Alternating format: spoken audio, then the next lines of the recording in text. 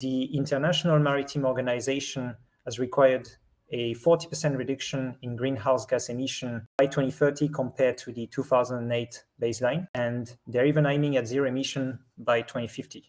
So do you actually make a high upfront investment in order to manufacture a zero emission ship right now, which is going to last for the next 30 years or so?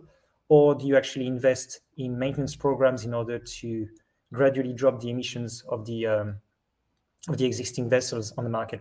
The answer is maybe in between two, but in any case, uh, softwares are going to help you to, to realize these ones.